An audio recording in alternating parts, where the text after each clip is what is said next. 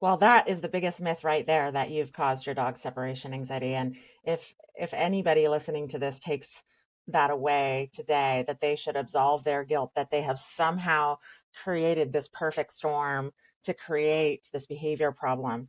Um, I know that um, there are many, many bits of advice out there like you know only pet your dog or give your dog attention if they um, are you know exhibiting appropriate behaviors or uh, don't let your dog sleep in the bed and uh, you know don't don't let your dog up on the couch and don't give your dog too many treats or bring them on outings with you as often and, and those sorts of things. Boy the number of clients that i've worked with that are bursting into tears on the very first phone call saying my neighbor told me that i've caused it or my mother-in-law told me that i've caused it or a host of people right? And and i don't think that that is true nor helpful. So please absolve your guilt about the the fact that you have created this actual problem.